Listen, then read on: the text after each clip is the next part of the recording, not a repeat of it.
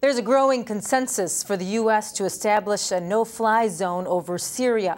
The White House this week decided to arm Syria's rebel forces after confirming President Bashar al-Assad used chemical weapons against them.